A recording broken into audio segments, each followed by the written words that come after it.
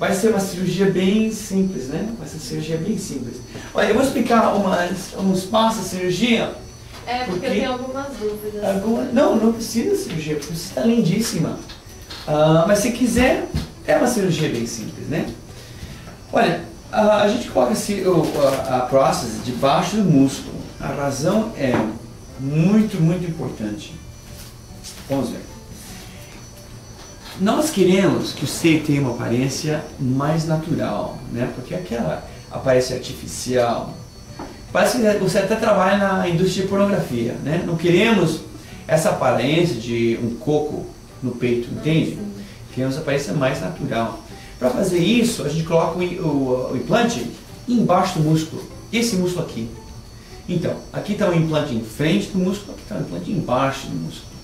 Primeira razão, mais natural. Segunda razão é menos possibilidade de cortar o nervo. O nervo que dá sensibilidade para a aureola, né? Aquela o biquinho seco. Terceiro razão, a próstase pode acabar dura. Quanta gente já percebeu esse abraço dessas moças? A próstata super dura. Então, em inglês é chamado capsular contracture, endurecimento no peito, né? Então, qual é a chance de endurecer? Desculpa, eu tenho que olhar para o espelho só para saber onde estou. Um, a chance de a, do seio endurecer, se o implante está em cima do músculo, é mais ou menos 40%. Debaixo do músculo, a chance é mais ou menos de 1 a 10%, dependendo de que papel você está lendo, de que livro você está lendo. Então, melhor colocar debaixo do músculo. Outra razão de ir debaixo do músculo, menos chance é seu primeiro bebê, né? Meu primeiro bebê. Ok. Provavelmente você vai ter o segundo, né? Provavelmente. Menos chance de destruir as glândulas que deixam a pessoa amamentar. Então, é melhor de ir debaixo do músculo, mais chance de amamentar com sucesso, entende? E a última razão, talvez a razão mais importante. Agora, você é uma moça muito jovem, mas com a passagem dos anos, você vai ter que ter mamografia. Claro, toda mulher tem que ter mamografia, né? Então, em cima do músculo existe mais ou menos. Você, na mamografia, você pode esconder 11% dos tumores. 11% dos tumores, que é demais, né? Debaixo do músculo, isso ah, menos chance de esconder qualquer tumor. Porque não está no seio, estamos debaixo do músculo, entende? Entendo. Então, por todas essas razões, é melhor colocar um implante debaixo do músculo. Tá vendo? Né? Ok, então, não precisamos de levantamento porque o seu seio incrivelmente não caiu. É por isso que é tão, é tão inteligente ter bebê quando você é jovem. Eu casei aos 40, não tanta boa ideia.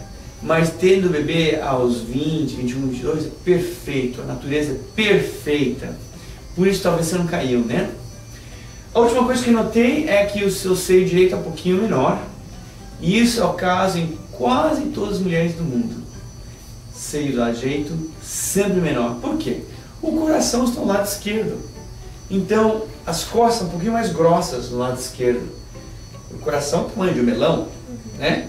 Então, os- o seio do lado esquerdo sempre tem aparência de ser um pouquinho maior.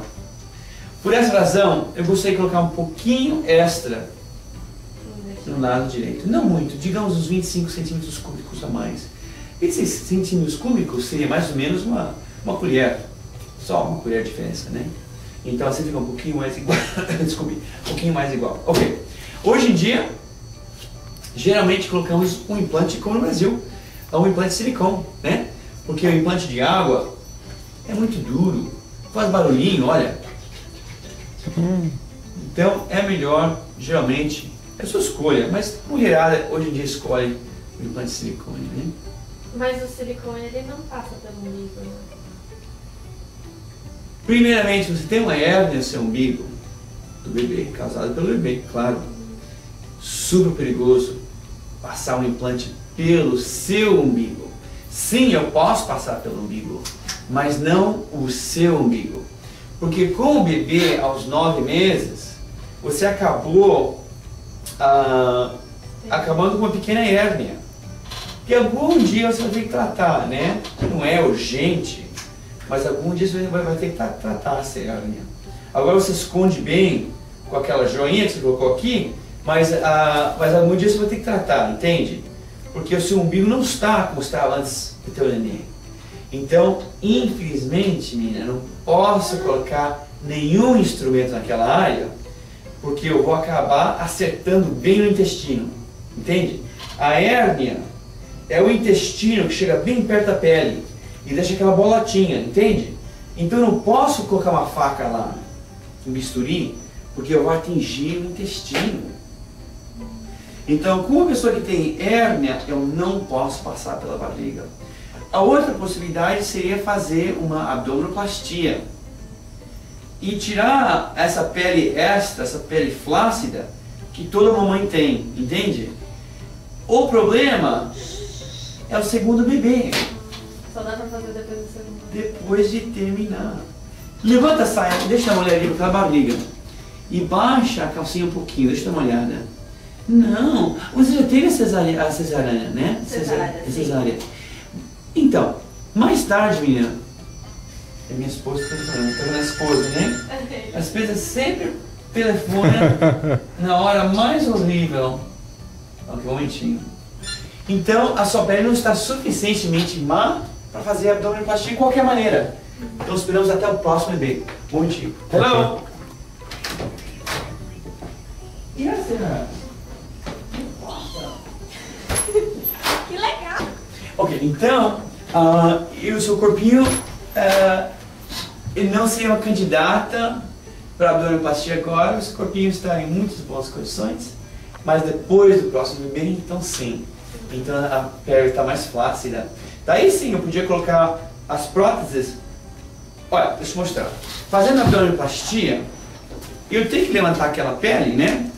Justamente para apertar os músculos da barriga. É como um corpete. Então não é tão horrível como parece. Levanta e a pessoa está dormindo, né? Então, a pele assim puxada um pouquinho para cima, olha que estou bem perto do seio. Então eu posso colocar um implante de silicone no seio, não pelo umbigo, não pode, tem a hernia, mas passando pela barriga, entende? Mas como a gente não vai fazer a abdominoplastia esta vez, que você não precisa, então eu não posso colocar pela barriga nem pelo umbigo. Só tem uma escolha, pelo aureola, né? Esta área marrom aqui. Então, essa aqui também está muito bem. Deixa eu mostrar as fotos. a gente. Ah, aqui está. Ah, Sara muito bem, Sara super bem. Aqui está de uma garota, eu passei o implante pela areola, olha, antes e depois, você quase nem enxerga a cicatriz. Outro exemplo, antes e depois. Hoje em dia a gente esconde muito bem, antes e depois, pela areola. E graças a Deus, eu nunca atingi o nervo. Depois de todos esses anos, 17 anos. Antes e depois. e nunca atingimos, graças a Deus, o nervo. Mesmo que atingi o nervo, o nervo ah, recupera 70%, 75% das vezes, o nervo recupera, entende? Então, tá vendo como olha que sara muito bem, passando pela areola. E outra coisa, aqui, um pouquinho diferente, né? Você tem uma, uma ciência assim bem avançada. Hoje em dia, digamos que você acaba com uma, uma marquinha branquinha, pequenininha, miudinha, digamos uma coisa assim. Vai ser até mais pequeno que isso. E você não gosta dessa linha tão fininha. Hoje em dia, como essa mulher, por exemplo, podemos fazer tatuagem. Tatuagem com o seu próprio pigmento. Olha, tá vendo? Ela fez tatuagem com o mesmo pigmento da pessoa e a linha desapareceu, a cicatriz desapareceu. Hum, Incrível, né? incrível. Incrível. Então, passando pelo, passando pelo, ah, pelo biquinho seio, a areola não é um problema.